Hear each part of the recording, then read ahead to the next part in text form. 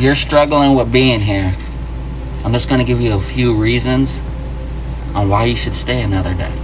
You'll never get to lay in bed again. It's our favorite spot. Never get to watch our favorite shows, our favorite movies, the comfort ones. What's better than a hot cup of caffeine in the morning? Or cold. Your friends online, some of them are my best friends. They'll wonder where you went and why you never logged back on again.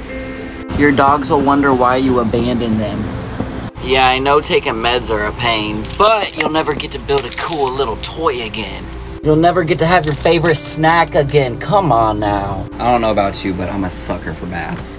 And there ain't nothing like when the sun hits you right on the skin and just being outside.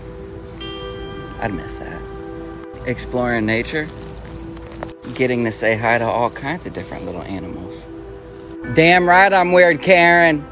Creeping out the neighbors, attempting to grow plants, visiting your loved ones, not having them wonder what they did wrong. Grandma, you in the bathroom? Yeah. Okay. A good drive with your favorite music. You made it this far. The good is gonna come, I promise you. One more day, promise me.